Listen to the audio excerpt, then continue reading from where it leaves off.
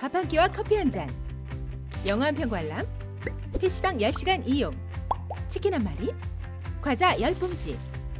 우리가 만 원으로 할 수 있는 일들입니다. 그리고 물류와 경영, 월 구독료 만 원. 만 원으로 할 수 있는 가치 있는 일. 당신의 미래를 위해 투자하세요.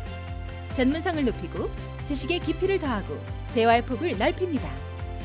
빛나는 만 원의 가치. 물류와 경영.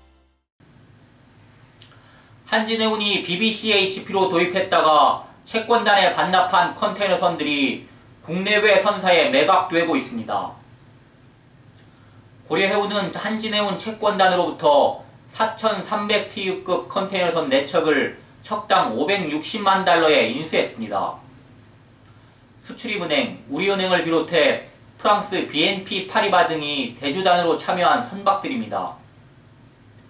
고려해운은 이달 말부터 내년 1월까지 선박을 인도받아 말레이시아, 인도네시아 항로에 용선을 대신해 투입할 예정입니다.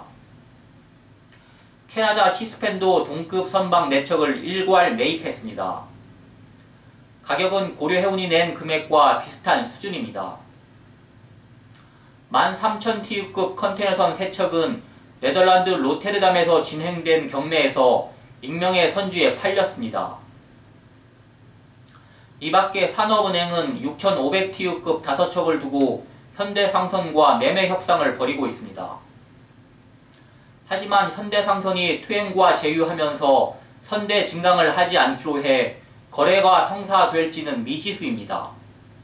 KSG 뉴스 이경입니다.